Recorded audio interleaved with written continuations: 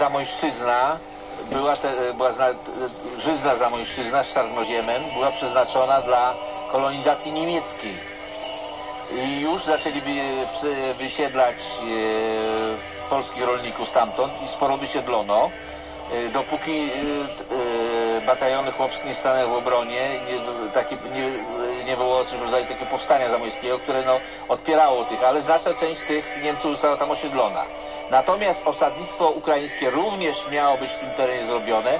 Mianowicie powiedzmy sobie, jeżeli tu uznamy, że jest Zamojszczyzna, to naokoło tego miał powstać taki okrąg wsi ukraińskich, wsi e, urządzonych na wzór wojskowy, e, które miały po prostu stanowić taki e, no, rodzaj ochrony, takiego kordonu, który będzie bronił tych Niemców przed Polakami. I dlatego tutaj na tym terenie właśnie planowano osiedlenie również Ukraińców, no ale polskie podziemie o tym doskonale wiedziało i też robiło wszystko, żeby taki kordon nie powstał. Odbierzmy kolejny telefon, bardzo proszę. E, Szczęść Boże. Szczęść Boże. Leszek e, z Wrocławia. Ja chciałem taką rzecz jeszcze przekazać. E, Tu w związku też z kwestią mordów na Ukrainie w Polsce rozgrywa się sprawa posadowienia pomnika zatytułowanego Rzeź Wołyńska Andrzeja Picińskiego, wybitnego artysty. Zresztą jego pomniki są nawet w Stanach Zjednoczonych i tak.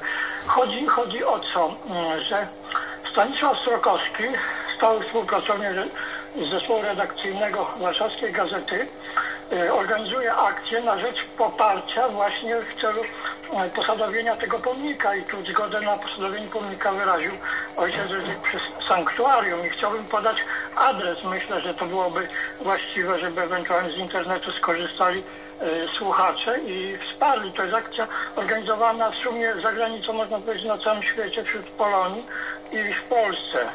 Można podać ten adres e, internetowy? Proszę bardzo. To jest y, www.srokowski, bo to jest Stanisław Srokowski, www.srokowski.art, tak jak artysta, art, kropka pl www.srokowski.art,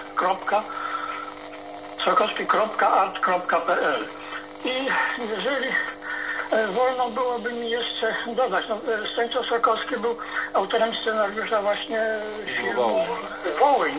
Ale ja bym tak przy okazji, bo to jest kwestia, mamy w tej chwili tą, tą powiedzmy ten konflikt w sumie i Ukraina i Stany i, i, i Izrael, chodzi mi o co? Jeżeli w tej chwili tak rzeczywiście będziemy skutecznie walczyć e, o kwestie naszych tutaj powiedzmy, no naszej pozycji, to chodzi o relacje e, z II wojny światowej, E, po prostu myślę, że jest okazja nieprawdopodobna, żeby wreszcie zweryfikować kwestię wokół niestety, ale trzeba powiedzieć, kłamstwa związanego i z Jedwabnym i z Kielcami. Naprawdę te kwestie trzeba byłoby poruszyć, bo ja na przykład słuchałem wczoraj, powiem, e, pana Grajgewista, jest to, jest to przewodniczący gminy żydowskiej z Wrocławia. Po prostu mm, ten człowiek konfabulował. E, tysiące, dziesiątki tysięcy zamordowanych oczywiście przez Polaków. No po prostu no, rzeczy niestworzone. Panie Leszku, panie Leszku, rozumiemy jak najbardziej z tym, że no, prosimy, aby trzymać się dzisiejszego tematu, który brzmi kresy i kresowiania, bolesne karty historii Polski w tym wymiarze. Dlatego też o to byśmy bardzo prosili. Panie redaktorze,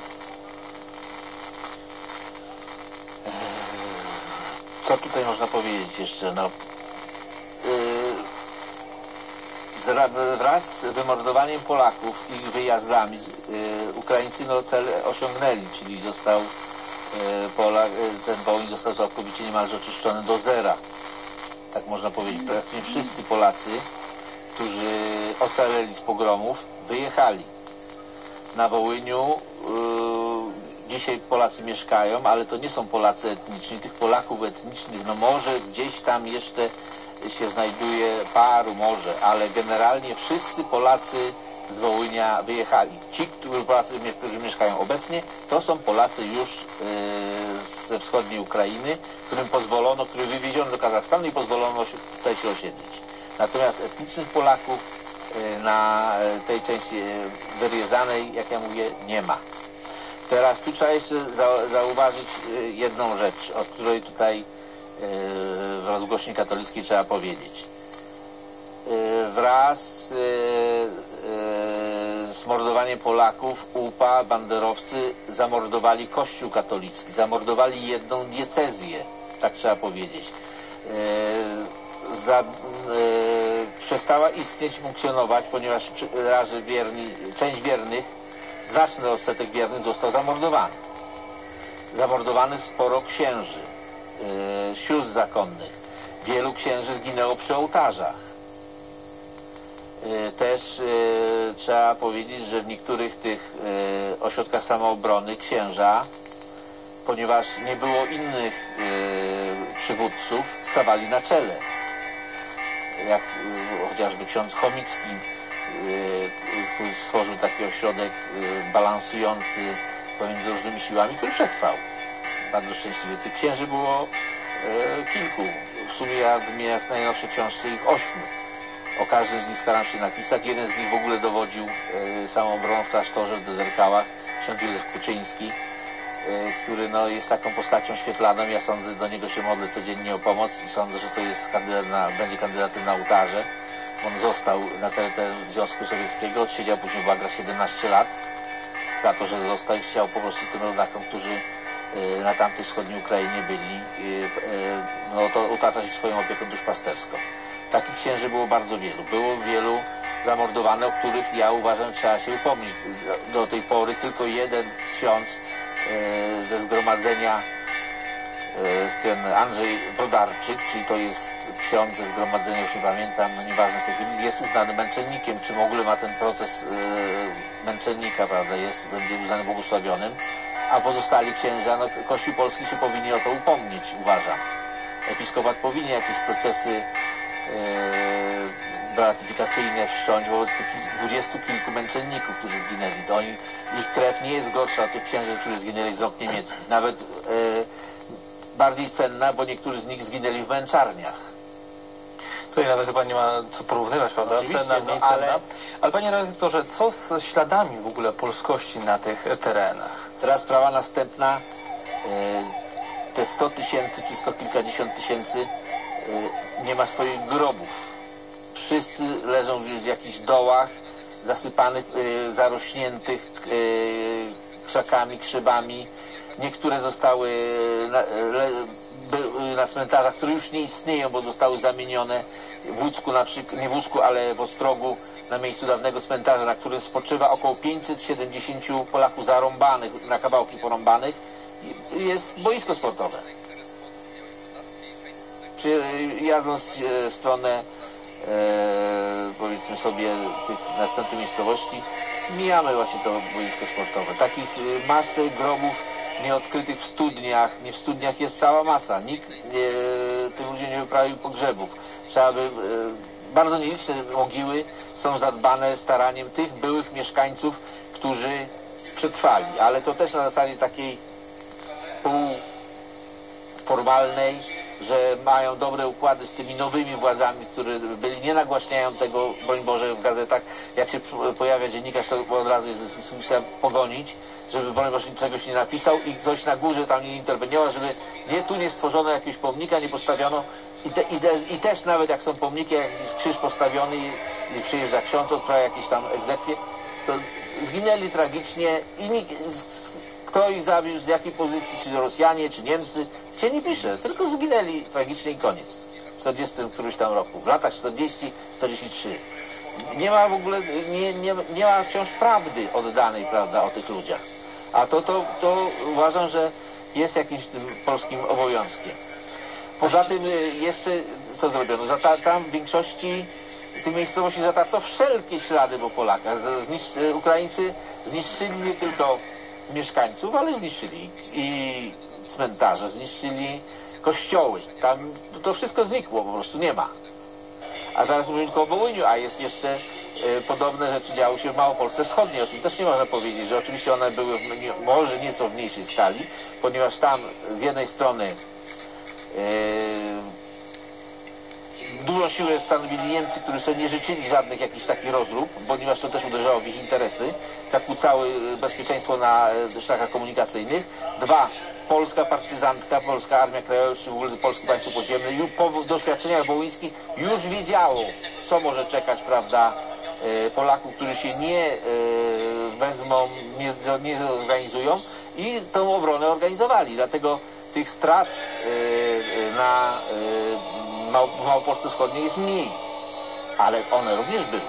Ba, również po, po wkroczeniu Sowietów, kiedy Sowieci wkroczyli, kiedy już opanowali teren, kiedy front już tam był e, dawno za Sanem, a Polacy mieli dopiero wyjeżdżać i, i myśleli, wyjeżdżać, nie wyjeżdżać, to e, bandyrowcy dokonywali również potwornych zbrodni. E, jeszcze potworniejsi nawet, tak celowo, bo wiedzieli tak, Sowieci na pewno nagłośnią, więc robią zdjęcie i tak było. No, teraz w gazecie, nawet wczoraj, e, ponieważ tam też siedziałem, pisałem, zdjęcie chłopczyka, któremu tam e, na raty obcina, ośmioletniego, którego obcinano na raty e, te, ręce i nogi. Czy dziewczynce jakiejś, które również to obcinano na raty. Także to, to jest coś, coś strasznego, prawda? Także to Sowieci złapali tych oprawców, prawda? Także to y, ten dowódca powiedział, że najpierw trzeba go matce pokazać tego, prawda, te- tego zbrodniarza, żeby spojrzał oczy matce, kogo ona wychowała. Wspomniły również o osobach, o Ukraińcach, którzy mm, starali się ratować Owszem, te, tacy Ukraińcy też byli, o nich nie wolno zapominać. Niektórzy z nich, ja z, e, znam, e, ba, opowiadał mi e, wielu, którzy ocaleli dzięki takim ludziom właśnie. Jak pan profesor Filar, którego cała rodzina ocaliła, e, ocalił właśnie e, ten jeden z sąsiad Ukraińców. I ten sąsiad Ukraińców potem przez trzy dni za to był mordowany. Nie umarł od razu, nie przez trzy dni go mordowali, żeby wiedział, że umiera i żeby cała wieś patrzyła, jak on, ten, ten, właśnie ten zdrajca za to, że oni uciekli, żeby właśnie poniósł taką straszną karę. Trzy dni umierał. Zrobiono z nim wszystko, co można było, prawda? Także to jest coś strasznego. Także o tym ludziom też jesteśmy jakąś tam pamięć e, winni, bo no, oni byli. Kresy i kresowianie, bolesne karty historii Polski. Tutaj to zaledwie pewnego rodzaju namiastka tej rzeczywistości, tragicznej rzeczywistości e, Kresów, o której zaledwie wspomnieliśmy podczas e, tego programu na telewizji Trwam Radia Maria. Panie redaktorze, dziękujemy za ten czas, e, za te treści, e, za to przypominanie, mówienie o tych dramatycznych losach Polaków i nie tylko Polaków, bo i tych, którzy pomagali Polakom, które w tym czasie dotknęło tak wielu ludzi. Ja również bardzo dziękuję Telewizji Trwam, Radiu Maryja, ojcu właśnie osobiście za zaproszenie, za to, że tutaj można mówić w tych mediów prawdę i zachęcam do czytelnictwa właśnie książek naszego wydawnictwa, które jest niejako pogłębieniem tego, o czym my mówimy tutaj. Kresy i kresowianie bolesne karty historii Polski, temat, który podejmowaliśmy z panem redaktorem Markiem Koprowskim, autorem wielu książek poświęconych tematyce kresów. Dziękujemy również widzom telewizji Trwam oraz słuchaczom Radio Maryja za współtworzenie dzisiejszego czasu rozmów niedokończonych. Niech będzie pochwalony Jezus Chrystus i Maria zawsze dziewica.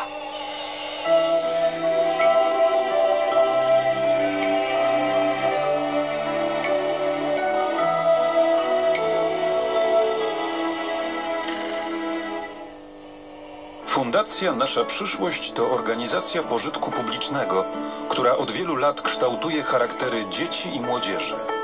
Uczy i wychowuje w duchu patriotyzmu dzieci i młodzież w szkole podstawowej i liceum ogólnokształcącym w Szczecinku.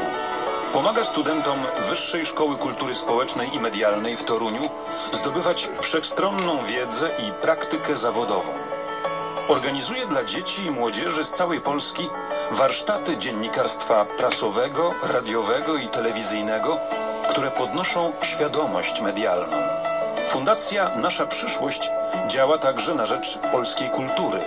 Z 1% dofinansowała produkcję filmu fabularnego Zerwany Kłos, a niebawem wesprze kolejny projekt filmowy Nędzarz i Madame o świętym bracie Albercie Chmielowskim.